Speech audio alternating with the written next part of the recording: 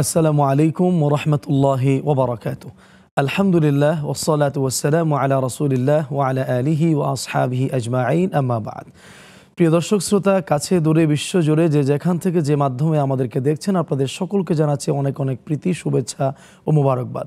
শুরু করছি আপনাদের অংশগ্রহণে নেক্সাস টেলিভিশনের সরাসরি সম্প্রচারিত প্রশ্নোত্তরমূলক আলোচনা ধর্মী নিয়মিত আয়োজন, ইসলামী ব্যাংক বাংলাদেশ লিমিটেড নিবেদিত ইসলামী জীবন বিধান। অনুষ্ঠানের শেষ পর্যন্ত আপনাদের সাথে আছি আমি লোকমান হাকিম। প্রিয় দর্শক, আপনারাও চাইলে আজকের আয়োজনে সম্পৃক্ত হতে পারেন, জানাতে পারেন আপনাদের দিনই যে কোনো সমস্যার কথা আমাদেরকে। সম্মানিত বিজ্ঞ মেহমান আপনাদের প্রশ্নের সঠিক সমাধান দিবেন, ইনশাআল্লাহ। প্রশ্ন করতে স্ক্রিনে প্রদর্শিত নাম্বারে সরাসরি কল করতে পারেন, ইনশাআল্লাহ। আজকে আমরা একটি গুরুত্বপূর্ণ বিষয় আলোচনা করব আপনাদের প্রশ্নের উত্তরের পাশাপাশি, আর তা হচ্ছে সৃষ্টির সেবা, অর্থাৎ সেবার বন্ধনে নিজেকে আবদ্ধ করে নেয়া। আমরা এই গুরুত্বপূর্ণ বিষয়ে আলোচনা শুনব, সেই সাথে আপনাদের প্রশ্নের উত্তরগুলো দেবো ইনশাআল্লাহ। চলে যাচ্ছে আজকে আমাদের সম্মানিত অতিথির কাছে। আজকে আমাদের সাথে সম্মানিত মেহমান হিসাবে আমন্ত্রিত হয়ে স্টুডিওতে উপস্থিত হয়েছেন আমাদের সকলের একান্ত প্রিয় মানুষ, পরিচিত মানুষ, বিশিষ্ট আলেমী দিন দায় ইলাল্লাহ ডেফোডিল ইউনিভার্সিটি ইসলামিক সেন্টারের সম্মানিত সুযোগ্য পরিচালক, প্রফেসর মুখতার আহমেদ হাফিজাহুল্লাহ। আসসালামু আলাইকুম রহমতুল্লাহ উস্তাদ কেমন আছেন? আলহামদুলিল্লাহ আপনি কেমন আছেন? আলহামদুলিল্লাহ আশা করছি দর্শকরা ভালো আছেন। উস্তাদ আমরা আজকে একটি গুরুত্বপূর্ণ বিষয় আপনার কাছ থেকে আলোচনা শুনব ইনশাল্লাহ সেই সাথে প্রশ্নের উত্তরও নিব। যে বিষয়ে আমরা আলোচনা শুনতে চাই আর তা হচ্ছে যে সৃষ্টির সেবায় নিজেকে আবদ্ধ করা বা সম্পৃক্ত করা। তো শুরুতেই যদি আপনি একটু সৃষ্টির সেবার গুরুত্বটা কি বা কোরআন সুন্নাহের কি কি ফজিলতের কথা বলেছেন তা দিয়ে শুরু করেন। ইন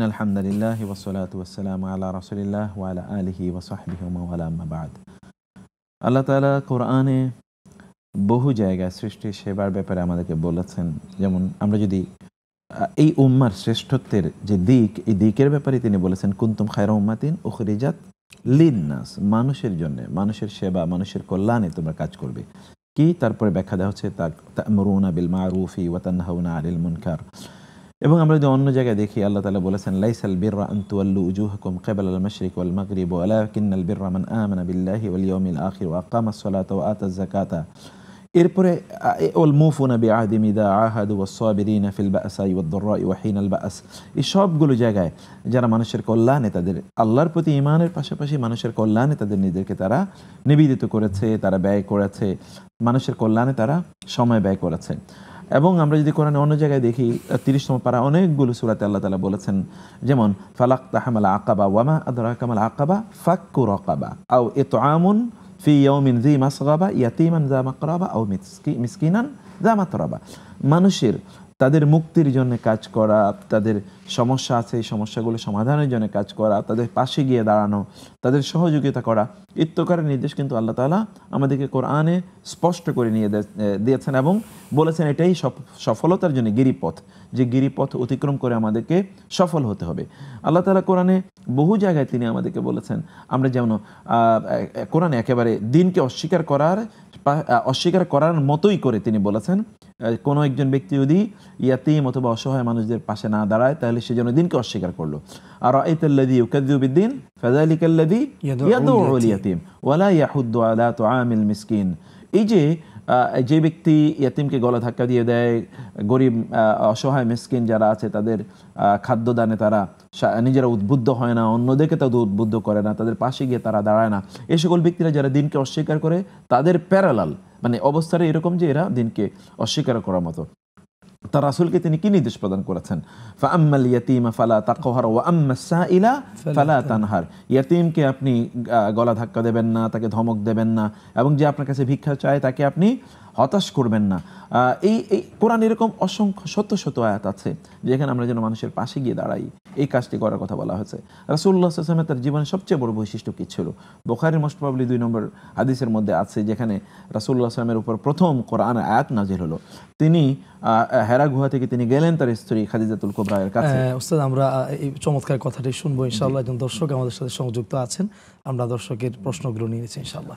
আসসালামু আলাইকুম রহমতুল্লাহ প্রিয় দর্শক কে আছেন আমাদের সাথে? নাম বলে প্রশ্নগুলো বলুন। ওয়ালাইকুম সালাম। আসসালামু আলাইকুম হুজুর। ওয়ালাইকুম আসসালাম। ওয়ালাইকুম আসসালামু। আসসালাম আলাইকুম। হুজুর আমার তিনটি প্রশ্ন। হুজুর আমি অনেক অসুস্থ। আজকে দেড় মাস হাসপাতাল ভর্তি থেকে আপনার বাসায় আসছে শনিবারে। আমি আজকে পনেরো ষোলো বছর অসুস্থ হয়ে আমার লাঞ্চ মানে নষ্ট ইয়ে হয়ে গেছে গর্ত গর্ত হয়ে গেছে। ডাক্তার বলছে আর ভালো হবে না। এখন আমি অনেকে অসুস্থ হুজুর এখন আমার তিনটা সন্তান, মেয়ে, তিনটা সন্তানের অসুস্থ, বড় মেয়ে অসুস্থ ছোটটা প্রতিবন্ধী। মেজোটা অ্যাক্সিডেন্ট হয়েছে। হুজুর আমি কি এমন করলে আমার সন্তানরা আমি একটু সুস্থ থাকব? আচ্ছা বোন আমরা আপনার প্রশ্ন বুঝতে পেরেছি। আর কি প্রশ্ন আছে বলুন? আর হুজুর আমি সংসারও মানে শান্তি নেই। অভাব অনটন মানে স্বামীটা আমার ভালো না। নামাজ পড়ে না পাঁচ সপ্তাহ এত বিপদ এত কিছু যেন আমি সবসময় বলে নামাজ পড়ো আল্লাহকে দেখো আল্লাহ বিপদ কিছু আল্লাহ স্বামীটা আমার নামাজ পড়ে না হুজুর। এখন এই শাস্তি কি আমার মানে আল্লাহ কি এটা কি অন্যায় শাস্তি দিতেছে আমাকে? নাকি আমি কি কারণে আচ্ছা আমরা বুঝতে পেরেছি বুঝতে পেরেছি। এরপরে প্রশ্নটি। বলুন বোন আর হুজুর আমার জন্য একটু আমার জন্য আমার মেয়েদের জন্য একটু দোয়া করবেন। আর আচ্ছা। কি এমন করলে সংসারে একটু মানে অভাব অনটন? আচ্ছা ঠিক আছে বোন আপনি আমাদের সাথে থাকুন। আমরা আপনার জন্য প্রাণ ভরে দোয়া করি। আল্লাহ পাক আপনার সমস্যাগুলো সমাধান করে দেন ইনশাআল্লাহ। আপনি আলোচনা করছিলেন যে রাসূলুল্লাহ সাল্লাল্লাহু আলাইহি ওয়াসাল্লাম হেরা গুহা থেকে তিনি যখন হেরাগুয়া থেকে যখন তিনি ফিরে আসছিলেন তখন তিনি তার স্ত্রীকে এসে বললেন আমি খুব ভীত সন্ত্রস্ত আমার জ্বর এসছে এরকম আমাকে যে কম্বল দিয়ে তুমি ঢেকে রাখো একটু ঢেকে দাও। জ্বর ফিল করছেন তিনি। তো তখন তার স্ত্রী তাকে কি বলেছেন? কাল্লা ওয়াল্লাহ লা ইউহজিক আল্লাহু আবেদা ইন্না লা তাসিলুর রাহিমা ওয়া তাহমিলুল কাল্লা ওয়া তুঈনু আলা নাওয়াইবিল হাক্কি। এ আরও অনেকগুলো কথা। তিনি বলেছেন যে, কখনো না, আল্লাহ আপনাকে অপমানিত করবেন না। কারণ আপনি কি করেন? আপনি মানুষকে সাহায্য সাহায্য সহযোগিতা করেন, তার বিপদে আপনি এগিয়ে যান, মেহমানদারি করেন, আত্মীয়দের সাথে সম্পর্ক রক্ষা করেন এবং আপনি ইয়াতিম অথবা আর্মিলা যারা অর্থাৎ যারা বিধবা আছে, তাদেরকে সাহায্য সহযোগিতা করার জন্যে আপনি সময় ব্যয় করেন, অর্থ ব্যয় করেন। এগুলো বলে তিনি রাসুল ইসলামকে সান্ত্বনা প্রদান করছিলেন। তার মানে মানুষ কোন একজন মানুষ যদি সত্যিকার অর্থে মানুষ মানুষের মর্যাদা পেতে চায়, তাহলে অন্যের কল্যাণে তাকে তার সময় ব্যয় করতেই হয়। আল্লাহ তালা কোনো একজন মানুষকে ততক্ষণ পর্যন্ত সাহায্য করেন যতক্ষণ সে অন্যের সাহায্যে তার নিজকে নিবেদিত রাখে। আল্লাহ ফি আব্দি মা কান আল আব্দু ফি আউনি আখিহি। একজন আল- আল্লাহ তাআলা কোনো একজন ব্যক্তিকে ততক্ষণ সাহায্য করেন যতক্ষণ ওই ব্যক্তি অন্যের সাহায্যে তার নিজকে নিবেদিত করে। রাসূলুল্লাহকে প্রশ্ন করা হলো, সর্বোত্তম মানুষকে? তখন তিনি বলেন আনফাউন্নাস খায়রুকুম আনফাউকুম, তোমাদের মধ্যে তারাই শ্রেষ্ঠ, যারা হচ্ছে মানুষের জন্য অনেক বেশি কল্যাণকর। তিনি বলেছেন আল মোমেন খায়রুন কুল্লু, একজন মোমেন সর্বদাই কল্যাণকর, যেখানেই যায় একজন মোমেন কি? তিনি কল্যাণ বিতরণ করেন। তার মাধ্যমে কখনোই অকল্যাণ হয় না। আল মুসলিমান সালিম আল মুসলিম লিসানি ওয়াদিহি আল মোমেনুমান আমানাহুন্নাস মোমেন তারা যারা অন্যের জন্য কল্যাণ করে। মোমেন হচ্ছে মধু মানে মধু পোকা যেটাকে আমরা মৌমাছি বলি। একটা মৌমাছির মতো। মৌমাছি কি করে? খায়, ভালো, উৎপাদন করে। ভালো। এবং সে যখন কোনো গাছ মানে ফুলের উপর বসে, তখন ওইটার পরাগায়ন একজন মোমেন মানে একটা মৌমাছি করে। তেমনিভাবে একজন মোমেন সর্বদা মানুষের কল্যাণে। সে যাই করে, সে খায়ও ভালো জিনিস, উৎপাদনও করে ভালো জিনিস, এবং সর্বদা সে কল্যাণ করে। সে প্রোডাকশন অর্থাৎ প্রোডাক্টিভ হয়। রাসুল আসলাম বলে আল মোমেন কান্নাখলা একজন মোমেন হচ্ছে খেজুর গাছের মতো। খেজুর গাছ কি? আরব বিশ্বে খেজুর গাছ একমাত্র গাছ। যে গাছ তাদের এমন কোনো প্রয়োজন নেই যে প্রয়োজন মেটায় না। তাদের বাড়িঘর করে- তৈরি করার জন্য যে কাঠ লাগে, এটা খেজুর গাছ থেকে আসে। তাদের যে ফাইবার অর্থাৎ তাদের যে রশি লাগে, এটা আসে খেজুর গাছ থেকে। এবং তাদের যে পানি লাগে পানি আসে খেজুর খেজুর গাছ থেকে। তাদের ফল যেটা খেয়ে তারা বাঁচে, এটাও কি? তাদের খেজুর গাছ থেকে। তাদের লাকড়ি খেজুর গাছ থেকে আসে। তাদের যে পশু আছে, এই পশুগুলোর খাবারও খেজুর গাছ থেকে আসে। মানে প্রত্যেক ধরনের তাদের প্রয়োজন খেজুর গাছ মেটায়। তেমনি একজন মোমের চরিত্র এমন যে মানুষের যা কিছু প্রয়োজন আছে, সকল কিছু প্রয়োজনে মোমেন তার নিজকে নিবেদিত করে। আলহামদুলিল্লাহ তাহলে আমরা বুঝতে পারলাম শেখ যে সে নিজের কল্যাণ যেমন করবে অন্যের সেবায়ও নিজেকে নিয়োজিত করতে হবে জি। ওস্তাদ আমরা প্রশ্ন উত্তরের দিকে যেতে চাই। আমাদের একজন বোন তিনটি প্রশ্ন করেছেন আমরা তার জন্য দোয়া করি। তিনি অত্যন্ত অসুস্থ এই অসুস্থ অবস্থা থেকে মুক্তির জন্য কি আমল করতে পারে? আমরা প্রিয় বোন আপনার জন্য প্রথমত দোয়া আমরা নিজেরা দোয়া করছি। আমরা বলছি আপনার জন্য বিসমিল্লাহ বা সতহরুন ইনশাআল্লাহ রব্বান্না সাজিবুল বা শিফি আন্তা শাফিলা শেফা ইল্লা শেফাউক শিফাউল্লাহ ইউগাদির সকামা নাসআলুল্লাহ আল আজিম রব্বাল আরশিল কারিম ইয়াশফিয়াক। এটি আমরা বলে এবার আপনাকে আমরা দুই, তিনটি প্রেসক্রিপশন দেই। প্রথম প্রেসক্রিপশন হলো যে আপনি আল্লাহর কাছে দোয়া করুন। আপনি দোয়া করতে ভুলবেন না, হতাশ হবেন না। শয়তান মানুষের মধ্যে হতাশা তৈরি করে দিতে চায়। কারণ হতাশার মাধ্যমে মানুষ আল্লাহ থেকে দূরে সরে যায়, তখন শয়তানের পথে সে চলবে। যেন হতাশ হবেন না। আল্লাহ আপনার জন্য নিশ্চয়ই উত্তম ব্যবস্থা করে রেখেছেন। আল্লাহর ব্যাপারে ভালো ধারণা পোষণ করুন। আনা আইন দজন্নি আবদেও আনা মাহুই দাদা কারানি আল্লাহ, মানুষ আল্লাহকে যেমনিভাবে ধারণা করে, আল্লাহ তেমনই অথবা আল্লাহকে আপনি আপনার বন্ধু হিসেবে ভাবুন, তিনি আপনার কল্যাণ অবশ্যই করবেন। এক নম্বর। দুই নম্বর বিষয় হচ্ছে এই জন্য আল্লাহর কাছে আপনি চান, চাইতে থাকুন বেশি বেশি। রসুলাম বলেছেন, দোয়া ও সেলাহুল মোমেন। মোমেনের অস্ত্র হল দোয়া। এই অস্ত্র দিয়ে আপনি যুদ্ধ করুন, আপনার জীবন যুদ্ধে অস্ত্র ব্যবহার করুন। তাহলে দোয়া। আপনি দোয়া করুন যে সকল সময়গুলোতে দোয়া কবুল হয় সেই সময়গুলোতে আপনি আল্লাহর কাছে দোয়া করুন। আর তিন নম্বর বিষয় হচ্ছে আপনি বেশি বেশি ইস্তেকফার করুন। ফাকুল তুস্তাক ফির রাব্বাকুম ইন্নাহু কানা গাফফারা ইউরসিলিস সামা আলাইকুম ইদরারা অর্থাৎ আপনি যদি দোয়া আপনি যদি ইস্তেকফার করেন আস্তাগফিরুল্লাহ আস্তাগফিরুল্লাহ আস্তাগফিরুল্লাহ পড়তে থাকেন তাহলে আল্লাহ আপনাকে সন্তান দেবেন সম্পদ দেবেন অভাব অনটন দূর করে দেবেন বিপদ আপদ দূর করে দেবেন। রাসূলুল্লাহ সাল্লাল্লাহু আলী ওয়াসাল্লাম বলেছেন মান লাজিমাল ইস্তেগফারা যে ব্যক্তি ইস্তেগফার বেশি বেশি পড়ে আল্লাহ তাআলা তাকে মিন কুল্লি দয়কিন মাখারাজা তার সকল ধরনের যে যেটাকে আমরা বলছি যে সংকীর্ণতা। আছে বা তার সমস্যা আছে সংকট আছে এগুলো থেকে আল্লাহ তাআলা উত্তরণের উপায় তার জন্য তৈরি করে দেন। এবং চার নম্বর বিষয় হচ্ছে বেশি বেশি আপনি দুরুদ পড়ুন। আল্লাহ সাল্লাহ আল্লাহ মোহাম্মদ আল্লাহ বারেক আল্লাহ মোহাম্মদ আল্লাহ আপনার পেরেশানি দূর করে দেবেন আপনার গুণা মাফ করে দেবেন অভাব অনটন দূর করে দেবেন ইনশাআল্লাহ। ইনশাআল্লাহ শেখ একজন দর্শক আছেন আমাদের সাথে আমরা সংযুক্ত করে নিচ্ছি। আসসালামু আলাইকুম রহমতুল্লাহ। প্রিয় দর্শক কে আছেন আমাদের সাথে? নাম বলে সংক্ষেপে প্রশ্নটি বলুন। আসসালামু আলাইকুম। রহমতুল্লাহ হুজুর। জি বলুন ইনশাআল্লাহ বলুন। আসসালামু আলাইকুম। জি ওয়ালাইকুম আসসালাম। আমরা আপনাকে শুনতে পাচ্ছি বোন। সংক্ষেপে প্রশ্নগুলো বলুন ইনশাআল্লাহ। জি আমি বলছি যে আমি কিছু অসুস্থ মানুষের আমার আত্মীয়ের বিরুদ্ধে কিছু দান করতে চাই। এটা কি সব হবে? আচ্ছা বুঝতে পেরেছি। আরেক- আরেক- আরেকটা বলতাম যে কষ্ট নিয়ে মৃত্যু হয় মৃত্যুর পর কবরের কষ্ট কি কষ্ট হয় নাকি? এই জানতে চাই। আচ্ছা আচ্ছা। আমি অসুস্থ মানে বারবার করতে কষ্ট হয়? মোজা নিয়ে খুলতে কষ্ট হয়? এখন কি করা যায়? কেমনে কি করব? তারপর চোখে খুলে আবার ওষুধ করা যায়। আচ্ছা ঠিক আছে বোন, আপনি আমাদের সাথেই থাকুন, আমরা আপনার জন্য প্রাণ ভরে দোয়া করি, আল্লাহ পাক আপনার সমস্যাগুলো সমাধান করে দেন, আমিন। শেখ, আমরা আমাদের আগের বোন, আরেকটি বিষয় জানতে চেয়েছেন যে তিনি অনেক প্রচেষ্টা করেও তার স্বামী বা ফ্যামিলির অনেককে সলাৎ পড়াতে পারছেন না। এক্ষেত্রে দায়ভার কি তার উপর পড়তে হবে? না আপনি আপনার স্বামীকে নাসিহা প্রদান করবেন, কারণ আপনি তো, আপনার স্বামী তো আর আপনার অধীনস্থ না। অতএব আপনার দায়বার বর্তাবে না, আপনি তাকে নাসিহা প্রদান করবেন, নাসিহা করতেই থাকবেন করতেই থাকবেন, ইনশাআল্লাহ। তাতে সে যদি নাসিহা গ্রহণ নাও করে, তাহলে আপনি সব থেকে বঞ্চিত হবেন না। কিন্তু আপনার সন্তানরা আপনার অধীনস্থ। আপনার সন্তানদেরকে আপনি সালাত পড়াবেন, দিন তাদেরকে আপনি শেখাবেন, অথবা অধীনস্থ অন্য যারা আছে আপনার, তাদেরকে আপনি দিনের কথা বলবেন এবং দিন অনুসারে তাদেরকে চালানোর চেষ্টা করবেন, ইনশাআল্লাহ। হ্যাঁ ইনশাআল্লাহ। হ্যাঁ তিনি আরেকটু জানতে চেয়েছেন যে, এই প্রশ্নটি অনেকেরই আছে যে, ঘরে অভাব, অনটন, সংকট কাটছেই না। তো সম্মিলিতভাবে কোন প্রচেষ্টাকে চালাতে পারে যার মাধ্যমে আল্লাহ পাক সংকট আ- আমরা সেই কথাই বলেছি আগেই যেটা বলেছি যে আপনি এই কাজগুলো করুন। আর দ্বিতীয়ত হচ্ছে যে আপনি সম্ভব হলে আপনি যদি আপনার কোনো কাজ করার কোনো সুযোগ থাকে তাইলে এমন কোনো কাজ আপনি করতে পারেন ইনশাআল্লাহ যেটা শরীর আপনাকে অনুমোদন করছে।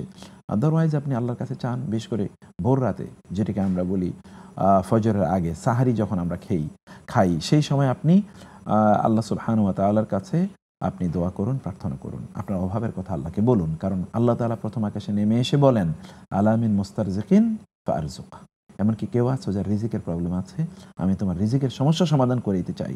তুমি আমার কাছে চাও, অথবা আল্লাহর কাছে চান এই সময়। ইনশাআল্লাহ ইনশাআল্লাহ। হ্যাঁ প্রিয় শেখ, আমরা আরও কিছু প্রশ্নের উত্তর আপনার কাছ থেকে জানতে চাই। এর মধ্যে একটি হচ্ছে যে একজন বোন জানতে চেয়েছেন, তিনি অনেক অসুস্থ, আমরা দোয়া করি তার জন্য। তিনি এই অবস্থা থেকে মুক্তির জন্য তার আত্মীয় স্বজনের মধ্যে কিছু সদাকা করতে চান। এটি করলে সব হবে খুবই ভালো কথা মাশাআল্লাহ। সাদাকার মাধ্যমে বিপদ দূর হয় হাদিস এসে সাদাকা তাসুদ্দুল বালা যে সাদাকা অথবা তারুদ্দুল বালা দুটোই আছে যে আপনি সাদাকায়ের মাধ্যমে বিপদ দূর হয়ে যাবে। বিপদ দূর হতে হলে সাদাকা করুন। আর সাদাকা করার ক্ষেত্রে প্রায়োরিটি অবশ্যই আপনি আপনার আত্মীয় স্বজনদেরকে সবচেয়ে নিকট আত্মীয় যারা আছে তাদেরকে আপনি প্রদান করবেন। এর মাধ্যমে আপনার বিপদ আপদ ইনশাআল্লাহ দূর হয়ে যাবে। সাদাকা করুন সামর্থ্য অনুসারে। খুবই ভালো কাজ। ইনশাআল্লাহ আল্লাহ যেন তৌফিক দান করে দেন। আমিন। শেখ তিনি অসুস্থ হওয়ার কারণে সে ওজো করতে কষ্ট হয়। এক্ষেত্রে আসলে সমাধানটা কি? অসুস্থ হওয়ার কারণে অজু করতে তো কষ্ট হবেই। তা হবেই। শীতের দিনেও তো অজু করা কি কষ্টকর। রাসুল্লাহ সাল আলী আসালাম বলেছেন যে আমি তোমাদেরকে এমন আমলের কথা বলব না যার মাধ্যমে আল্লাহ তালা তোমাদের সকল গুণাগুলো মাফ করে দেবেন এবং তোমাদের সম্মান বাড়িয়ে দেবেন। তিনি বললেন ইসবাগুল উদুই আলাল মাকারিহি। আহ, তারপরে ওয়াকাসরাতুল খোতা ইলাল মাসাজিদি ওয়ান্তেজর সলাতি বাদা সলাত। তিনটি কাজ তোমরা করো। একটি হচ্ছে যে ইসবাগুল উদুই আলাল মাকারিহি। কষ্টের সময় তুমি উজু করো পরিপূর্ণভাবে অতএব এই যে কষ্টের মধ্যে পরিপূর্ণভাবে উজু করা তো আপনার সম্মান বাড়িয়ে দেবে, সুবহানাল্লাহ। সেজন্য আপনি করুন। কিন্তু ব্যাপারটি যদি এমন হয় লাইফ থ্রেটেনিং অর্থাৎ আপনার জীবনকে সংকটাপূর্ণ করে দেবে এরকম যদি হয়, এবং মারাও যেতে পারে, এরকম কোনো বিষয় হলে তাইলেই কেবলমাত্র তিনি কি করতে পারবেন? তায়াম্মম করতে পারবেন। আদারওয়াইজ ওয়াটার ইজ অ্যাভেলেবল কিন্তু আপনি অন্য কোনো অল্টারনেটিভ গ্রহণ করবেন। ইট ইজ নট পারমিসিবল আল্লাহ পাক যেন আমাদেরকে সঠিক বুঝ দান দান করে দেন। আমি একজন দর্শক আছেন আমরা সংযুক্ত করে নিচ্ছি। আসসালামু আলাইকুম রহমতুল্লাহ প্রিয় দর্শক কে আছেন? নাম বলে সংক্ষেপে প্রশ্নটি বলেন। ওয়ালাইকুম আসসালাম। আমি ঢাকা রামপুরা থেকে। আমার দুটো প্রশ্ন আছে। আমার প্রথম প্রশ্ন হচ্ছে যে মানে বিতর সালাদ সম্পর্কে। যদি আহ, সন্ধ্যা রাতে বিতর সালাদ না পড়ি দেখা যাচ্ছে শেষ রাতের আশায় রাখি তো সেই ক্ষেত্রে যদি শেষ রাতে পড়া না হয় তো দিনের বেলা যে মানে জোর ভাবে পড়তে হবে সেটা যে মানে যদি আমি তিন রাকাত পড়ি তো তিন রাকাত পড়লে মানে সেটা কীভাবে যে মানে ফরজ চার রাকাত বা শূন্য চার রাকাত এভাবে মানে কোনটার মতো হবে বা দয় কোন যে পড়তে হয় সেটা কীভাবে? আর এক রাকাত বিতর সালাত পড়লে সেটা নিয়মটা কি? মানে দয় কোন পড়তে হবে নাকি এটা আচ্ছা বোন আমরা বুঝতে পেরেছি। এরপরে প্রশ্নটি বলুন। আর দ্বিতীয় প্রশ্ন হচ্ছে যে কোনো পুরুষ যদি প্রথম বিয়ে করার পরে ওনার স্ত্রী মারা গেলে, উনি দ্বিতীয় বিয়ে করলেন, তো ওই প্রথম স্ত্রী যে মারা গেলেন, ওনার সন্তানরা আছে। এখন ওই স্বামীর সম্পত্তিতে ওর প্রথম স্ত্রীর কি কোনো হক ছিল যেটা তার সন্তানরা পাবে কি? এটাই আমার প্রশ্ন। আচ্ছা ঠিক আছে। হ্যাঁ শেখ, আমরা দুটি প্রশ্ন পেয়েছি। আমাদের বোন গুরুত্বপূর্ণ দুটি প্রশ্ন করেছেন। একটি হচ্ছে, কোনো কারণে যদি শেষ রাতের আশায় বিতির সলাৎ পড়বেন, রেখে দেন, পড়তে পারেনি দিনের বেলা তিনি কীভাবে আদায় করবেন? জি, সে যদি এমন হয় যে তিনি শেষ রাতে ভিতির সালাদ তিনি আদায় করতে পারেননি তাইলে তিনি দিনের বেলা কীভাবে এটি আদায় করবেন? তার আগে আমরা যেটি বলব, কারও যদি তাহাজ্জুদ পড়ার অভ্যাস না থাকে, এটা তার অভ্যাস যে তিনি উঠেনি, তাহলে তিনি শেষ রাতের জন্য সালাতুল ভিতিরকে রেখে দেবেন না। রাসুল ইসলাম বলেছেন, আল্লাহ তালা বলেন, ইয়া হালাল আল্লাহ রাসুল ইসলাম বলেন যে, ইয়া হালাল কোরআন আউতিরু ফাইন্না রব্বাকুম ইউহিবুল ভিতরা হে কোরআনের যারা ধারক, বাহক, তোমরা ভিতির সালাত পড়বে, তোমাদের রব ভিতিরকে ভালোবাসেন। সেজন্য ভিতিরকে ছেড়ে দেয়া ঠিক না কোনো অবস্থায়। ইনাল্লাহ ভিতরুন ইউহিবুল ভিতরা আল্লাহ ভিতিরকে ভালোবাসেন, ভিতির পড়বেন। দ্বিতীয়ত হচ্ছে যদি কোনো কারণে মিস হয়ে যায়, তাহলে দিনের বেলা ভিতির মানে তো কি? রাতের সালাদটাকে বেজোর করে দেয়া। কিন্তু রাতের সালাদ তো আর এখন আর নেই, এখন তো এটা দিনের সালাদ হয়ে গেছে। সেই জন্য আলেমদের মধ্যে একটা বিশাল অংশ তারা মনে করেন যে ভিতির সালাদটি দিনে পড়লে এটা তিনি জোর পড়বেন, বেজোর পড়বেন। সেটা তিনি হয় দুই রাকাত পড়বেন অথবা চার রাকাত তিনি পড়বেন। হয় দুই রাকাত পড়বেন অথবা চার রাকাত পড়বেন, কারণ ভিতির সালাত এক রাকাতও পড়া যায়, তিন রাকাতও পড়া যায়। সেক্ষেত্রে তিনি চার রাকাত পড়লে তিনি এক সালামে তিনি চার রাকাত পড়বেন, দুই সালাম না। আর যদি দুই রাকাত পড়েন তাহলে তো তিনি দুই রাকাত যেভাবে পড়ে সেভাবেই পড়বেন। যদিও হানাফদের মতে যে না, ভিতির তিন রাকাত পড়লে তিনি তিন রাকাতই পড়বেন। এটাকে কাজাকে আদায় যেভাবে করতেন, সেভাবে কাজা করতে হয়, তারা এই যুক্তিতে সেটি বলে থাকেন। তো আপনি যেটাই করুন না কেন, আপনি বেজোর করেন বা জোর করেন, আপনি ভিতিরটা কাজা করে নেবেন। কারণ রসুল ইসলাম কখনো ভিতির না পড়তে পারলে তিনি দিনের বেলা সেটি কাজা করে নিতেন। অনেক অনেক ধন্যবাদ শেখ। আপনার প্রতি সময় হয়েছে একটি বিরতিতে যাওয়ার। প্রিয় দর্শক, যারা আমাদের সাথে আছেন, গুরুত্বপূর্ণ আলোচনা শুনছি প্রশ্নের উত্তরগুলো আমরা জেনে নিচ্ছি। আলহামদুলিল্লাহ, সময় হয়েছে ছোট্ট একটি বিরতিতে যাওয়ার। ফিরছি কিছুক্ষণের মধ্যেই, সাথেই থাকুন।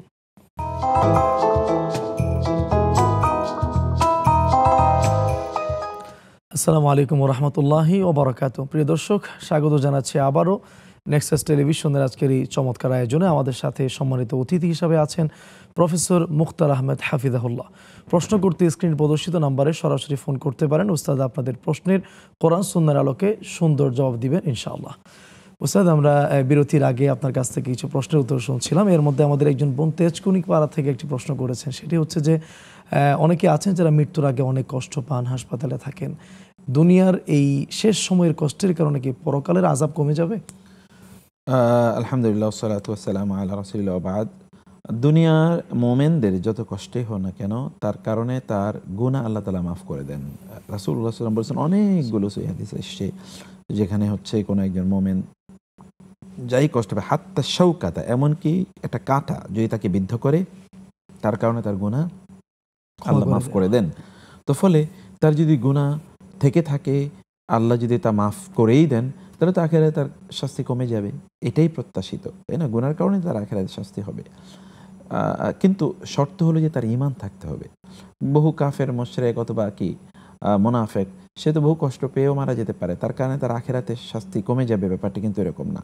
আখেরাতে তারই শাস্তি কমবে যে আখেরাতে এর প্রতি বিশ্বাস করেছে, আল্লাহর প্রতি তার ইমান ছিল সেরেক মুক্ত তার জীবন ছিল, এই সকল ব্যক্তিরই এগুলো কমে যাবে, ইনশাআল্লাহ।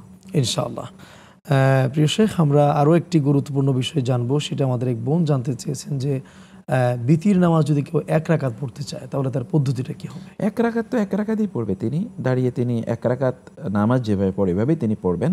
তো সেক্ষেত্রে তিনি জানতে পারেন যে কখন তিনি দোয়ায় কোনুরটা তিনি পড়বেন, সেটা কাবলা আইয়ারকা ও বাদা আইয়ারকা রুকুতে যাওয়ার আগে অথবা রুকুতে যাওয়ার পরে। দুই সময় যে কোনো সময় তিনি কুনুতটি তিনি পড়ে নিতে পারেন ইনশাআল্লাহ। আর এক রাকাত পড়ে সালাম ফিরিয়ে তিনি নামাজ শেষ করে দেবেন আচ্ছা আলহামদুলিল্লাহ। শেখ আরেকটি প্রশ্ন এসেছে উত্তরাধিকার সম্পদ সম্পর্কে। সেটি হলো যে এক বোন জানতে চাইলেন যে একজন স্বামী তার প্রথম স্ত্রী মারা গিয়েছেন তিনি আরেকটি বিয়ে করেছেন। তো তার প্রথম স্ত্রীর যে সন্তানেরা আছে তারা কি পিতার সম্পদ পাবে বা কি বঞ্চিত হবে কিনা? সুবহানাল্লাহ যেহেতু পিতারই সন্তান অতএব তারা তো সম্পত্তি পাবেই। এখানে স্ত্রী মারা যাওয়ার সাথে সন্তানের সম্পত্তি থেকে বঞ্চিত হওয়ার কোনো কিছুই নাই। সন্তানরা অবশ্যই সম্পত্তি পাবে, যেটা ওই কোরআনের নির্দেশ, লিদ্দাকারী প্রত্যেক ছেলে পাবে, প্রত্যেক মেয়ের দ্বিগুণ। সকল সন্তানরা। এটি আগের ঘরের, পরের ঘরের, তারপরের ঘরের, এগুলোর সাথে কিছুই যায় আসে না। সন্তান বাবার হলেই বাবার সম্পত্তি থেকে সন্তানরা কোরআন যে হারাহারির কথা বলেছে, সে হারাহারিতে তারা সম্পত্তি পেয়ে যাবে, ইনশাআল্লাহ।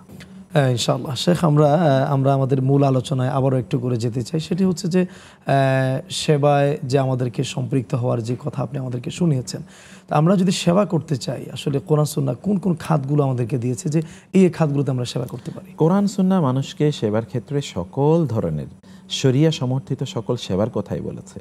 মানে সেবার ক্ষেত্রে এখানে কোনো আলাদা কথা বলা হয়নি। যেমন ধরুন কোনো একজন রুগীকে কেউ যদি দেখতে যায় তার সেবা করার জন্য সত্তর হাজার ফেরেস্ত ওই ব্যক্তির জন্য দোয়া করতে থাকে।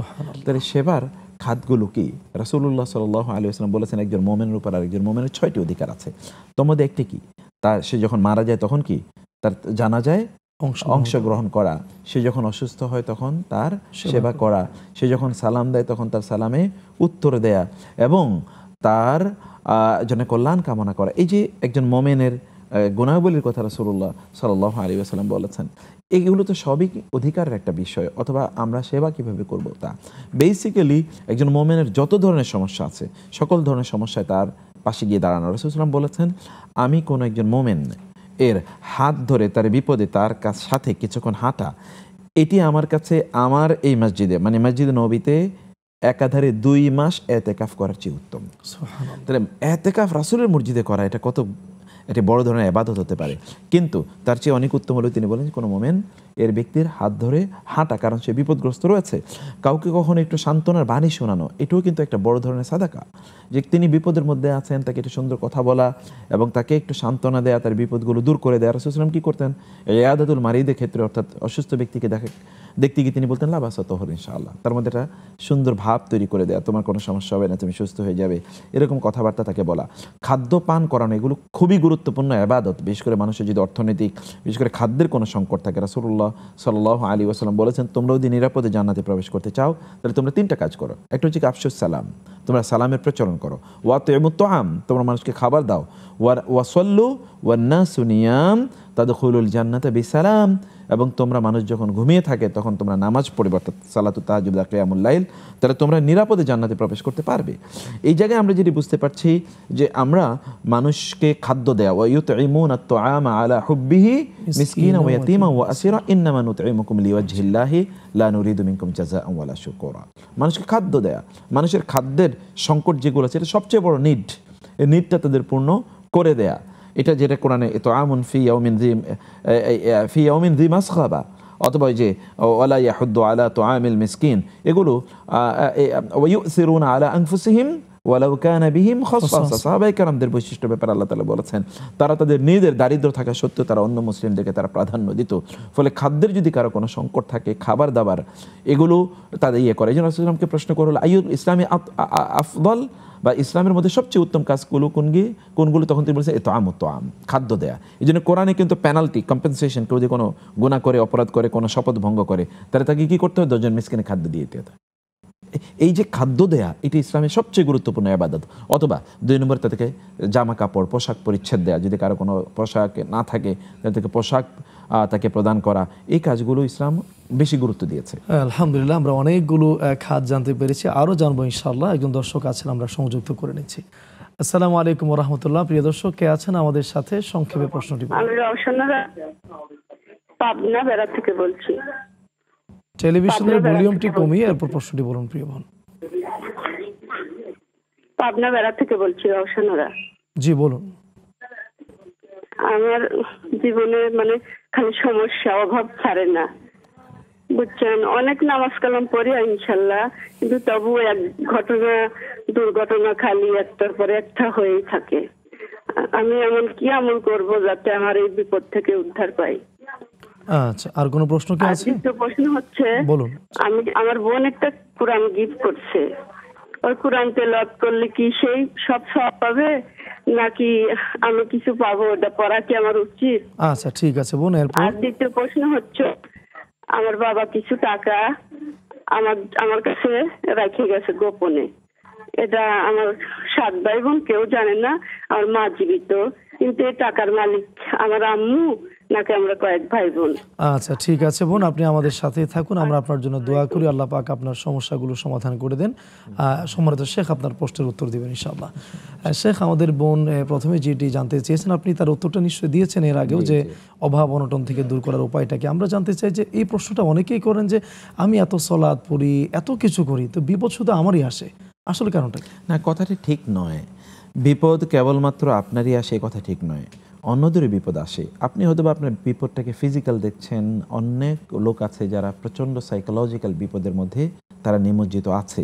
সেজন্য বিপদ কেবলমাত্র আপনাকেই কেন পায়? এ কথা আপনি কখনো বলবেন না, প্রিয় বোন, প্রিয় ভাইয়েরা। এইগুলো শয়তান এই ইন্সপিরেশন আমাদের মধ্যে তৈরি করে দেয় যে বিপদ কেবলমাত্র আমার কেন হচ্ছে? আমি কি তাইলে সালাদ আদায় করে তাহলে আমার কোনো লাভ হয় তখন কি হবে? তিনি সালাদ থেকে, আল্লাহ থেকে তিনি ধীরে ধীরে ধীরে ধীরে গ্রাজুয়ালি তিনি ডিসকানেক্টেড হয়ে যাবেন। এই ডিসকানেক্টেড হয়ে যাওয়ারই কারণে সবচেয়ে বড় বিপদের মুখোমুখি তিনি হবেন। মূল জীবন তো আপনার আখেরাতের জীবন। এটা আপনার মনে রাখা দরকার। দুই নম্বর যে বিষয়টি, তা হলো যে আপনি আল্লাহ সুবহানাহু তালা এর প্রতি আপনার আস্থা বা বিশ্বাস এগুলোকে আপনি কোনো অবস্থায় কমাবেন না। আল্লাহ হতে পারে আপনাকে আরও অনেক আপন করে নিতে চান। আমরা কখনো কখনো মনে রাখতে হবে আমাদের পরীক্ষা কিন্তু কখনোই আমাদের অমর্যাদা করার জন্য আসেনি। কোন একজন ব্যক্তির যখন প্রমোশন হয় তখন তার একটা পরীক্ষা দেওয়া লাগে না? আমরা যদি কোনো বড় ধরনের ডিগ্রি অর্জন করতে চাই তাহলে কি আমাদেরকে পরীক্ষা দেওয়া লাগে না? আমাদেরকে এসএসসি পরীক্ষা দেওয়া লাগে এইচএসসি পরীক্ষা দেওয়া লাগে আমাদেরকে ডিগ্রি পরীক্ষা দেওয়া লাগে আমাদেরকে মাস্টার্স পরীক্ষা দেওয়া লাগে পিএইচডির জন্য পরীক্ষা দেওয়া লাগে ভাইবা দেওয়া লাগে। আপনি বড় কোনো পোস্টে যেতে হলে যত বড় পোস্ট তত বড় ভাইবা তত বড় আপনার ইন্টারভিউ অথবা তত বড় এক্সাম পরীক্ষায় আপনাকে উত্তীর্ণ হওয়া লাগে। আসাদুল আম্বিয়া এ বালা আন আল আম্বিয়া ও সুম্মাল আমসাল ফান আমসাল। সবচেয়ে বেশি বিপদ হয়েছে নবী রাসুলদের। তার কি কোনো গুনার কারণে বিপদের মুখোমুখি হয়েছেন? রাসুল ইসলামকে হত্যা করার পরিকল্পনা করা হলো যে দেশের জন্য, তার জীবন, যে জনগণের জন্য তিনি তার সব সম্পদ বিলিয়ে দিয়েছেন। তারাই তাকে দেশ থেকে বিতাড়িত করার জন্য, তাকে হত্যা করার জন্য তারা সকল প্ল্যান প্রস্তুতি নিল। কিন্তু তারপরে তিনি দেশ ছেড়ে যেতে হলো। এগুলো আপনি নবী রাসুলদের কথার দিকে তাকাইলে দেখবেন সবাই কিন্তু এরকম নির্যাতন, নিপীড়ন ইত্যাদি শিকার হয়েছে অথবা তারা জুলুমের শিকার হয়েছে অথবা আল্লাহ তারা তাকে পরীক্ষা করেছেন। ইব্রাহিম আলাইসালামকে কি পরীক্ষা নেয় আল্লাহ তালা করলেন? তার আপন সন্তানকে জবাই করার জন্য পর্যন্ত নির্দেশ প্রদান করা হয়েছে। সন্তানকে মরুভূমিতে রেখে আসার জন্য নির্দেশ প্রদান করা হয়েছে। পরীক্ষা আল্লাহ তালা করেন কি কারণে? মানুষকে আল্লাহর আরও কাছাকাছি নেওয়ার জন্য। আমরা আরবিতে বলি এন্দাল ইমতেহান ইউকরামুর রাজুলু আউ ইউহান। পরীক্ষার সময় আপনি সম্মানিত হবেন। অসম্মানিত অপমানিত হতে পারে একদল লোক যারা আল্লাহর ব্যাপারে তাদের আস্থা বা বিশ্বাসকে তারা নষ্ট করে দিয়েছে। আপনি কখনো আস্থা বিশ্বাসকে নষ্ট করবেন না। ওয়ালা সৌফাই অর্তিকা রব্বুকা আল্লাহ অচিরে আপনাকে এত ভালো কিছু দেবেন যেটি নিয়ে আপনি পরম সন্তুষ্ট থাকবেন। আল্লাহ যেন আমাদের প্রিয় বোনের সমস্যাগুলো সমাধান করে দেন। আমি শেখ একজন দর্শক আছেন আমরা সংযুক্ত করে নিচ্ছি। আসসালামু আলাইকুম রহমতুল্লাহ। প্রিয় দর্শক কে আছেন আমাদের সাথে? প্রশ্নগুলো বলুন।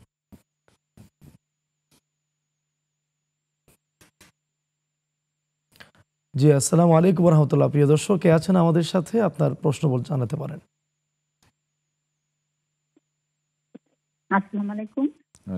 ওয়ালাইকুম জি আসসালাম রহমতুল্লাহ জি আমি পূর্ব রামপুরা থেকে বলছিলাম মাকসুদা মেরাজ। জি বলুন ইনশাল্লাহ ভাইয়া আমি হুজুর হুজুর আমি প্রতি মাসে একটা কোরআন খতম দিই ঠিক আছে? হ্যাঁ এই কোরআন খতমটা কি আমার বাবা মা শ্বশুর শাশুড়ির নামে বক্সায় দিব নাকি আমি আল্লাহ রতুল্লাহ সামনে নামে দিব। আর একটা কর্মা খতম দিই প্রতি মাসে। মানে প্রতি মাসে একটা কর্মা খতম আর একটা খতম দিই। আর আর ধো আমি তিন তুজি পড়ি সব সকাল আর বিকাল দুই দুইবার তিন তুজি তিন তুজি পড়ি। এটা কি ঠিক আছে কিনা? আর তিন নম্বর প্রশ্ন হলো, আমি স্বপ্নে প্রায়ই টয়লেট দেখি। নোংরা টয়লেট দেখি নোংরা টয়লেটে টয়লেট করি এটার ব্যাখ্যাটা কি? আচ্ছা ঠিক আছে বোন আপনি আমাদের সাথেই থাকুন। শেখ আপনার প্রশ্নগুলোর উত্তর দিবেন ইনশাআল্লাহ।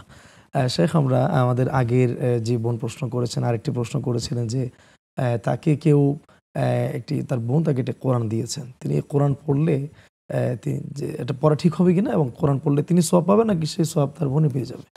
না আপনি তো সেই কোরআন পড়বেনই অবশ্যই কারণ হাদিয়া গিফট এগুলোকে অবশ্যই গ্রহণ করতে হয়, এর মাধ্যমে ভালোবাসা তৈরি হয়।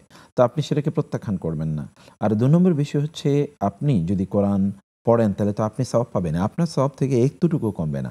কিন্তু মিন গাইরি আইয়াঙ্কুসা মিন আজরিল আমিলি শাই হাদিসে এসছে কেউ যদি কোনো আমল করে তাহলে ওই ব্যক্তির আমল একটুকু কমবে না। কিন্তু যিনি তাকে আমলের পথ দেখিয়েছেন অথবা আমলের সরঞ্জামগুলো তাকে কিনে দিয়েছেন ওই ব্যক্তি আপনার পরিমাণ সমান সওয়াব পেয়ে যাবেন। অথবা আপনার বোন আপনি যতটুকু সব পাবেন ততটুকু সব তিনি পেয়ে যাবেন কিন্তু আপনার সওয়াব এতটুকু কমবে না। অথবা এটা win win situation you will be winner and your sister will also win this race ইনশাআল্লাহ। ইনশাআল্লাহ। আহ, শেখ, আরেকটি প্রশ্ন হচ্ছে যে, ওই বোন জানতে চেয়েছেন পাবনা থেকে যে, তার বাবা তার কাছে কিছু সম্পদ বা কিছু টাকা তিনি রেখে গিয়েছেন, তিনি মারা গিয়েছেন। তার মা এখন জীবিত আছেন। তো বাবার রেখে যাওয়া ওই সম্পদ কি তার মা পাবে নাকি সবাই পাবে? বাবা রেখে যাওয়া সম্পদ সবাই পাবে। আপনার মা তো পাবেই। আপনি পাবেন, আপনার ভাইয়েরা সবাই পাবে। এটাকে আপনি ডিসক্লোজ করবেন, অর্থাৎ এটা আপনি বলে দেবেন। বলে আপনার ভাই বোন এবং আপনার মা এর মাঝে শরিয়া নির্দেশিত পথে এবং শরিয়া নির্দেশিত পদ্ধতিতে সবার মাঝে এটাকে বন্টন করে দেবেন। ইনশাআল্লাহ ইনশাআল্লাহ। শেখ আমাদের আরও অনেক প্রশ্ন আছে। এর মধ্যে একটি প্রশ্ন করেছেন আমাদের প্রিয় বোন কিছুক্ষণ আগে জানতে চাইলেন যে তিনি প্রতি মাসে এক খতম কোরআন পড়েন বা আরেকটি খতম করেন কি কালিমা খতম তিনি বলেছেন সম্ভবত। তো এটা কি তিনি তার পিতামাতার জন্য এটার সব বক্স বা বক্সে দিতে পারবেন কি না নাকি আল্লাহ রাসুলের জন্য দিবেন? দেখুন প্রথমত হচ্ছে যে আপনি কোনো আবাদত কারও প্রতি হাদিয়া, তোহফা অথবা যেটাকে ঈসা আলে সওয়াব বলা হয়, এগুলো করার কোনো প্রয়োজন নেই। আপনি যত আবাদত করবেন, সকল আবাদতের জন্য আপনাকে যারা শিখিয়েছে পদ দেখিয়েছে, তারা এমনিতে সব পেয়ে যাবে। রাসুল্লাহ সাল্লাহ আসলাম এই পৃথিবীর যত মানুষ, তার আগমনের পর থেকে কেয়ামত পর্যন্ত যত মানুষ ভালো কাজ করবে শরিয়া মানে আবাদতের কাজ করবে সকলে যে সওয়াব পাবে রাসুলাম একাতটুকু সওয়াব পাবেন। কারণ কি? আদাল্লু আলাল খাইরি কেফা। আইলিহি। কারণ তিনি পথ দেখিয়েছেন মানসান্না ফিল ইসলামী সুন্নাতান হাসানা।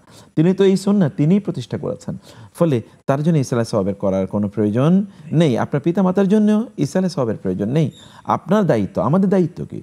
ওয়াকুর রব্বির হামহুমা কামা রব্বায়ানি সগীরা রব্বি গফিরলি ওয়ালি ওয়ালিদাইয়া ওয়ালিল মুমিনিনা ইয়াউমা ইয়াকুমুল হিসাব রব্বানা গফির লানা ওয়ালি ইখওয়ানিনা আল্লাযীনা সাবাকুনা বিল ঈমান আল্লাহুম্মা গফির লাহু ওয়ারহামহু ওয়াআফি ওয়া'ফু আনহু আল্লাহুম্মা গফির লিহাইয়িনা ওয়া মাইয়িতিনা ওয়া শাহিদিনা ওয়া গায়বিন আপনি কেবল দোয়া করবেন তাদের জন্য।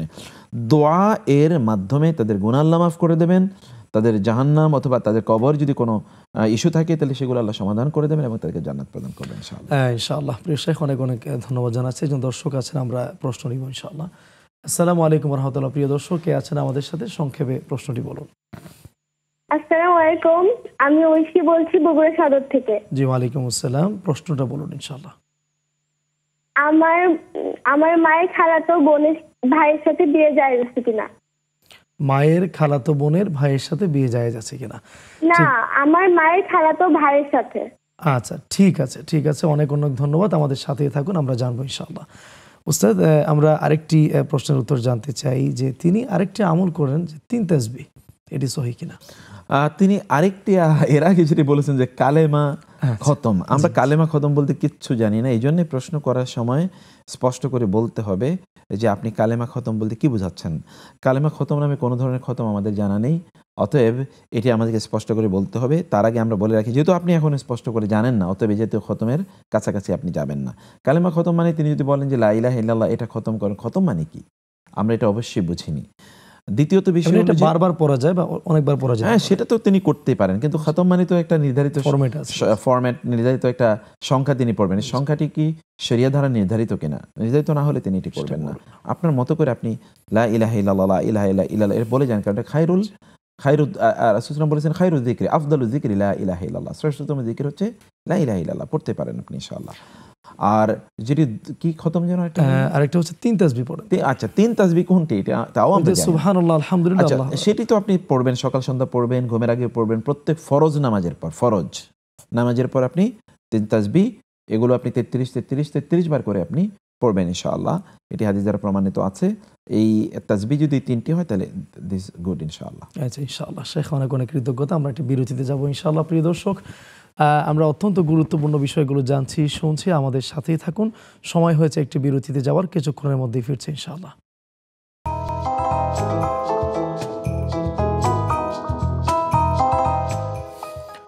আসসালামু আলাইকুম ওরহমতুল্লাহ ওবরাকাত প্রিয় দর্শক, স্বাগত জানাচ্ছি আবারও নেক্সাস টেলিভিশনের এই চমৎকার আয়োজনে। আজকে আমাদের সম্মানিত অতিথি হিসাবে আছেন প্রফেসর মুখতার আহমেদ হাফিজাহুল্লাহ। প্রশ্ন করতে স্ক্রিনে প্রদর্শিত নাম্বারে সরাসরি ফোন করতে পারেন, ইনশাআল্লাহ। উস্তাদ আমরা বিরতির আগে আপনার কাছ থেকে অনেকগুলো প্রশ্নের উত্তর জেনেছি আমাদের এক বোন আরেকটি প্রশ্ন করেছেন যে তিনি স্বপ্নের ব্যাপারে। তিনি প্রায় সময় স্বপ্ন দেখেন যে একটি নোংরা টয়লেট এবং তিনি সেখানে তার প্রয়োজন সেরে নেন। এটার ব্যাখ্যা আসলে কি হতে পারে? আলহামদুলিল্লাহ সালাত ওয়াসালাম আল্লাহ রসুলিল্লাহ বাদ। আমাদের এই বোনের বিষয়ে আমরা দুটো কথা বলব। এটা প্রিয় বোন প্রশ্নটি প্রকাশ্য না করাটাই ভালো। এই জাতীয় প্রশ্ন প্রকাশ্যে না করাটাই ভালো। কখনো করবেন না। আপনার প্রয়োজনে আমাদের নেক্সাসে যারা আছেন টেকনিক্যাল টিমের কাছে ফোন করলে তারা কোনো একজন স্কলারের সাথে কানেক্ট করে দেবেন। পার্সোনালি এটার উত্তর জেনে নেবেন। আমরা আপনাকে যেটা বলব তা হলো যে, আপনার ফিজিক্যাল কোনো অসুস্থতা আছে কিনা, এটা একটু আপনি চেক করুন। আপনি ডাক্তারের সাথে কথা বলুন। আমরা জানি না। আপনার যদি কোনো ধরনের রোগ থাকে তাহলে আপনি দ্রুত ডাক্তারের সাথে কথা বলুন, অবহেলা করবেন না এটা নিয়ে। দু নম্বর বিষয় হচ্ছে আপনার দিনদারির লেভেলেও যদি কোনো রোগ থাকে মানে রোগের কথাই বলছি আবারও either it is physical or religious আপনার যদি ধর্মীয় দিন এর ক্ষেত্রে কোনো রোগ থাকে, যেমন ঠিকমতো সালাত আদায় করেন না, অথবা ঠিকমতো রোজা রাখেন না, অথবা ধরুন ঠিকমতো পাক পবিত্র থাকেন না, কোরআন তেলাওয়াত করেন না, দিন থেকে অনেক দূরে, এরকম কোনো সমস্যা আছে কিনা? এগুলো চেক করুন recheck your life revisit your life আপনার লাইফস্টাইলটাকে পরিবর্তন করতে হবে, আমার বিশ্বাস। আশা করছি ইনশাআল্লাহ আল্লাহ তালা আপনাকে এই জটিলতা থেকে মুক্তি প্রদান করবেন ইনশাআল্লাহ। ইনশাআল্লাহ আল্লাহ আমিন। প্রিয় শেখ আরেকটি প্রশ্ন এসেছে সেটা অত্যন্ত গুরুত্বপূর্ণ। আমরা একটু বিস্তারিত জানতে চাই। আর তা হচ্ছে যে মায়ের খালাতো ভাইয়ের সাথে বিয়ে বৈধ কিনা? সেই সাথে আসলে কাদের সাথে বিয়েটা বৈধ আর কাদের সাথে বিয়ে বৈধ নয়? এটাও নিজে একটু আলোচনা করুন। মায়ের খালাতো ভাইয়ের সাথে বিয়ে বৈধ কোনো সমস্যা নেই। মায়ের খালাতো ভাইয়ের সাথে বিয়ে বৈধ তাহলে কাদের সাথে বিয়ে বৈধ না? এরকম কোরআনে আল্লাহ তালা চোদ্দ ক্যাটাগরির কথা বলেছেন হাদিসে আরও পরবর্তী দুটি ক্যাটাগরির কথা বলা আছে। মূলত বিয়ে করা যাবে না। হুরিমাত আলাইকুম উম্মাহাতুকুম। এখানে আল্লাহ তালা বলেছেন কাদেরকে বিয়ে করা নিষিদ্ধ? তোমাদের মায়েদেরকে বিয়ে করা নিষিদ্ধ? এই মায়েরা কারা কারা? হতে পারে এই মায়েরা তার আপন মা অথবা তার স্ত্রীর মা। আপন মা অথবা তার স্ত্রীর মা। এই মাদেরকে বিয়ে করা। আমি শুধু নারীদের কথা বলছি, তাহলে বিপরীতে পুরুষরা এসে পড়বে। তার মানে কোনো একজন নারী তার বাবাকে বিয়ে করতে পারবেন না বা তার স্বামীর বাবাকে বিয়ে করতে পারবেন না। এরকম। তাইলে আমরা নারীদের কথা বলি। মাকে বিয়ে করা যায় না। সে তার নিজের মা হোক অথবা তার স্বামীর মা হোক। এবং মায়ের ক্যাটাগরিতে যারা পড়ে, তাদেরকে বিয়ে করা যায় না। যেমন দাদিদেরকে বিয়ে করা যায় না। যেমন দাদার বোনদেরকে বিয়ে করা যায় না। ফুফুদেরকে বিয়ে করে, এসব কিন্তু মায়ের ক্যাটাগরিতে। ফুফুদেরকে বিয়ে করা যায় না। এই ফুফুরা বাবের মানে তিনি, তার যে বাবা আছে এই বাবার বোন পিতৃ হোক অথবা বই মাতৃয় বই মাতৃয় পিতৃয় মানে হচ্ছে কোনো একজনের বাবা, বাবার দুইটা বিয়ে আছে। তো দুই দিক থেকে যত মা আছে বা যত ফুফু আছে, সকল ফুফুদেরকে বিয়ে করা নিষিদ্ধ। এবং এই জন্য আমাদের এই দেশে এগুলো হচ্ছে লম্বা আলোচনা। আমাদের এই দেশে দেখবেন নাতিদেরকে অথবা নাতিনদেরকে বলে যে সেকেন্ড ওয়াইফ অথবা কি ছোট বউ, এগুলো বলে হারাম। এই জাতীয় শব্দ চয়ন এটা কবিরা গুণা এবং এর জন্য কেউ যদি তবা না করে তাহলে তার কি হবে? আল্লাহ তালাই জানে। এগুলো বলতে নাই। নাতিনারি দেখে বলে, ছোট বউ কেমন আছো? অথবা নানারে বলে যে জামাই অথবা স্বামী এরকম যে ভাব করে, এটা কেউ হয়তোবা এমনিতে আনন্দে ফুর্তি করে বলে। তো কেউ কি ফুর্তি করে বলতে পারে নাকি, আমি আমার মাকে বিয়ে করি, আমি আমার মা আমার স্ত্রী কে বলতে পারে? তা তো ফুর্তি করে বলতে বলতে পারে না এটা। অথবা এটা একই ক্যাটাগরির হারাম। এটি বলা যায় না। মাদেরকে বিয়ে করা যায় না। আপনার বোনদেরকে বিয়ে করা যায় এটা বৈপিত্রীয় বোন হোক অথবা বৈমাত্রীয় বোন হোক, তাদেরকে বিয়ে করা যায় না। খালাদেরকে বিয়ে করা যায় না, ফুফুদেরকে বিয়ে করা যায় না এবং বোনদেরকে বিয়ে করা যায় না, বোনের যত কন্যা সন্তান আছে, এই সকল সন্তানদেরকে বিয়ে করা। বোনের কন্যা সন্তান, ওদের সন্তান ওদের সন্তান ওদের সন্তান, তাদেরকে বিয়ে করা যায় না। এমনিভাবে ভাইয়ের যত কন্যা সন্তান আছে মানে যাদেরকে আমরা ভাতিজি বলি ভাতিজি, ভাতিজির সন্তান, তাদের সন্তান, এদেরকে বিয়ে করা যায় না। এই সকল এদেরকে, এই এই সকল নারীদেরকে বিয়ে করা নিষিদ্ধ। আবার নিষিদ্ধ হচ্ছে যিনি মানে কোনো একজন ব্যক্তি যাকে বিয়ে করেছেন, কোনো একজন নারী, ওই নারীর আগের ঘরের যদি কোনো মেয়ে থাকে, তাহলে তাকে বিয়ে করা যাবে না। কোনো এক স্ত্রীর আগের ঘরের কোনো মেয়ে, তার আগে বিয়ে হয়েছে, এরকম কাউকে বিয়ে করা যাবে না। বিয়ে করা যাবে না, দুইজন বোনকে একসাথে বিয়ে করা যায় না। দুই আপন বোন একসাথে বিয়ে করা যায় না। অথবা কোনো বোন এবং বোনের ফুফু অথবা বোনের খালা, তাকে একসাথে বিয়ে করা যায় না। এগুলো নিষিদ্ধ এই সকল বিয়ে শাদীগুলো আচ্ছা আলহামদুলিল্লাহ, আমরা চমৎকারভাবে জানছিলাম একজন দর্শক আছেন আমরা আরেকটি প্রশ্ন নিয়ে নিই। আসসালামু আলাইকুম রহমতুল্লাহ প্রিয় দর্শক কে আছেন আমাদের সাথে? আপনার প্রশ্নটি সংক্ষেপে বলুন। ওয়ালাইকুম সালাম রহমতুল্লাহ বারাকাত আমার একটা প্রশ্ন। আপনার টেলিভিশনের ভলিউমটি কমিয়ে নিন প্রয়োজন আমার প্রশ্ন হইল হ্যাঁ আমার প্রশ্ন হইল এই কোনো মানুষ যদি অতিরিক্ত নোংরা ভাষায় মানুষের সামনে একটা মানুষকে কষ্ট দেয় আঘাত দেয় আঘাত দিয়ে কথা কয় প্রায় একদিন দুই দিন না প্রায় প্রায়। তো আল্লাহ তো বিধান ক্ষমা করে দেয় তো আহ, যার- প্রিয় বোন যার আপনি টেলিভিশনের ভলিউমটি আরেকটু কমিয়ে নিন এরপর প্রশ্নটি বলুন। আচ্ছা আচ্ছা। ঠিক আছে ঠিক আছে কমাই দিছি। যদি সে যদি ক্ষমা করে দেয় আল্লাহ দিক টাকায় ক্ষমা করে দেয় তো আল্লাহ ক্ষমা যে করছে তার তো আল্লাহ বিধান মান্য ক্ষমা করছে। আর যে কষ্ট দিছে সে কি তারও কি আল্লাহ ক্ষমা করে দিবে? না এই কষ্টর বিনিময়ে আল্লাহ তার কোনো হিসাব নিবে? আচ্ছা ঠিক আছে বুঝতে পেরেছি প্রিয় জি। আচ্ছা ঠিক আছে উস্তাদ আমরা একটি প্রশ্ন নিয়েছি আলহামদুলিল্লাহ। আমরা আপনার কাছ থেকে জানছিলাম যে কাদেরকে বিয়ে করা হারাম। এবং আরেকটি বিষয় একটু বলে রাখা দরকার তাহলে যে ছেলের আহ, বউদেরকে বিয়ে করা নিষিদ্ধ। আপন ছেলের আপন ছেলের বৌদিকে বিয়ে করা যাবে না? বিয়ে করা যাবে না, যেই সকল মায়েরা দুধ পান করিয়েছে তাদেরকে। যেই সকল মায়েরা দুধ পান করিয়ে তাদের মেয়েদেরকে বিয়ে করা যাবে না। এরকম বিবাহ বিবাহ করা যায় না, চোদ্দ ক্যাটাগরি যাদেরকে বিয়ে করা যায় না। আবার এর বাইরে অন্যদেরকে বিয়ে করা যায়। যেমন ধরুন চাস্তো বোনকে বিয়ে করা যায়, মামতো বোনকে বিয়ে করা যায়, খালতো, খালাতো বোনকে বিয়ে করা যায়, তাই না? এদেরকে বিয়ে করা যায় ফলে এদের সাথে দেখা সাক্ষাৎ করা এটা নিষিদ্ধ এটা হারাম। কারণ এদেরকে তো বিয়ে করা যায়। আচ্ছা আলহামদুলিল্লাহ। শেখ আমরা বলা যায় অনেকটা শেষের দিকে আছি। আমরা আরেকটি প্রশ্ন নিয়েছিলাম প্রিয় বন্ধুদের কাছ থেকে যে একজন মানুষ যিনি সব সময় খুব বাজে ভাষায় গালাগালি করেন তো তাকে হয়তো তিনি ক্ষমা করে দিয়েছেন। তাতে কি আল্লাহ তাকে ক্ষমা করে দিবেন নাকি রয়ে যাবে এটা? দেখুন একজন মানুষ যখন অন্যের প্রতি অন্যায় করে তখন তিনি দুটো অন্যায় করেন। একটি অন্যায় হচ্ছে তিনি ওই ব্যক্তির প্রতি অন্যায় করেছেন, জুলুম করেছেন, আরেকটা হচ্ছে আল্লাহ শরিয়ার আইন তিনি লঙ্ঘন করেছেন, আল্লাহর বিধান তিনি লঙ্ঘন করেছেন। ফলে ব্যক্তি যদি ক্ষমা করে দেন, আল্লাহ ক্ষমা নাও করতে পারেন। আবার আল্লাহ ক্ষমা করতেও পারেন, সেটি আল্লাহ সুবহানাহু ওয়া তাআলার মেহেরবানি। তিনি যদি ক্ষমা করে দিতে চান, তাহলে তিনি ক্ষমা করবেন। কিন্তু শর্ত হলো ওই ব্যক্তিকে ক্ষমা করতে হবে। সেই জন্যে একই সাথে বান্দার প্রতি অন্যায় করলে দুইটা অপরাধ হয়। আল্লাহর প্রতি অপরাধ হয় কারণ আল্লাহর তো বিধান। যেমন কেউ কাউকে হত্যা করল, তাতে কি ওই ব্যক্তির প্রতি শুধু অন্যায় করা হলো? আল্লাহ যে হত্যা করা নিষিদ্ধ করেছেন, আল্লাহর ভায়োলেশন করা হলো না? হলো তো আল্লাহর ভায়োলেশন করা। কেউ চুরি করেছে, ডাকাতি করেছে ইফটিজ করেছে, মানুষকে কষ্ট দিয়েছে, এগুলো আল্লাহর আইনের বিরোধিতা করেছে সে। ফলে মানুষের প্রতি জুলুম হলো, আল্লাহর প্রতিও জুলুম হলো। সেক্ষেত্রে তাকে দুটো কাজ করতে হয়। একটা হলো যে ওই ব্যক্তির কাছে ক্ষমা চাইতে হবে এবং আল্লাহর কাছেও ক্ষমা চাইতে হবে। দূরে যদি তিনি না করেন, তাহলে আল্লাহটা হয়তো থেকে যাবে, রয়ে যাবে। আচ্ছা আল্লাহ একজন আমাদেরকে এই জাতীয় অপরাধ থেকে হেফাজত করেন আমি শেখ, আমরা একেবারে সংক্ষেপে আপনার কাছ থেকে আরেকটু জানতে চাই যে সেবার কাজে যে আমরা নিজেদেরকে সম্পৃক্ত করব, আপনি বেশ কিছু খাতের কথা বলেছেন। তো আর কি কি খাত হতে পারে সেবা করার? খাত মানুষের দারিদ্র দূরীকরণের জন্য কাজ করা, এটি সবচেয়ে গুরুত্বপূর্ণ। মানুষের দিনকে রক্ষা করার জন্য কাজ করা, মানুষের জীবনকে রক্ষা করার জন্য কাজ করা, কোনো অবস্থায় যেন তার জীবন হানি না হয়। তার জীবনকে রক্ষা করে চেয়ে উত্তম কাজ কি হতে পারে? মানুষের সম্পর্কগুলো রক্ষা করার জন্য কাজ করা। রসুলাম বলেছেন, ইসলাহ হুজাতিল বাইন মানুষের মধ্যকার যে সম্পর্ক আছে, সম্পর্কগুলোকে ভালো রাখার জন্যে কাজ করা। এমন কোনো কাজ না করা যেই কাজের ফলশ্রুতিতে সম্পর্ক হানি হবে। স্বামী স্ত্রীর সম্পর্ক হানি হবে বাবা মায়ের সম্পর্ক হানি হবে, ছেলে, সন্তান, অন্যদের সাথে, বন্ধুদের সাথে সম্পর্ক হানি হবে ইত্যকের সম্পর্ক নষ্ট হবে, এরকম কোনো কাজ করা যাবে না। কারণ বলেছেন ফাইন্না আল হালেকা ফাইন্নাহা আল হালেকা আমি এটা বলি না যে তাহলিকুসার ওয়ালাকিন তাহলিকুদ্দিন এটা মানুষের দিনকে একেবারে ধ্বংস করে দেয়। এই জায়গায় আমরা সম্পর্ক বিল্ডিং বিল্ড আপ করার জন্য কাজ করা। মানুষের যাতায়াতের যেগুলোকে আমরা আমরা বলি পাবলিক ডেভেলপমেন্ট পাবলিক ওয়েলফেয়ারের কাজ করা, মানুষের রাস্তাঘাট টয়লেট ইত্যাদি করা। আপনার যদি আমরা বলি যে তাদেরকে জ্ঞান প্রদান করার জন্য যে সকল কাজগুলো করা হয় এগুলো কিন্তু সাদকায় জারিয়ার কাজ। পানির অভাব মানুষের রয়েছে সেগুলো দূর করার জন্য কাজ করা। তাকে শিক্ষা প্রদান করে এগুলো তো মানুষের মৌলিক অধিকার। যেগুলো তাকে বেঁচে থাকার মানুষ হিসেবে বেঁচে থাকার জন্য সাহায্য করবে সবগুলো খাতে কাজ করা। আলহামদুলিল্লাহ আলহামদুলিল্লাহ। প্রিয় শেখ আমরা আজকে অনেক কিছু আপনার কাছ থেকে জেনেছি অনেক দর্শকদের আশা করি তাদের প্রশ্নগুলোর উত্তর আলহামদুলিল্লাহ তারা পেয়েছেন। আমরা অনেক অনেক ধন্যবাদ জানাই আপনাকে আজকের এই চমৎকার আয়োজনে আপনি অংশগ্রহণ করেছেন। আলহামদুলিল্লাহ। প্রিয় দর্শক, আমরা আজকের এই আয়োজনের একেবারে শেষ পর্যায়ে পৌঁছে গিয়েছি। যারা আমাদের সাথে ছিলেন, প্রশ্ন করেছেন, অনুষ্ঠান দেখেছেন, আপনাদের সকলের প্রতি আমরা অনেক অনেক কৃতজ্ঞতা জানাই। আমরা আহ্বান করছি নেক্সাস টেলিভিশনের আয়োজনে। প্রতিদিন আমাদের সাথে থাকবেন ইনশাআল্লাহ। আল্লাহ পাক আমাদের সবাইকে কবুল করে নিন। আমিন। আসসালামু আলাইকুম ও রহমতুল্লাহি ওবরাকাত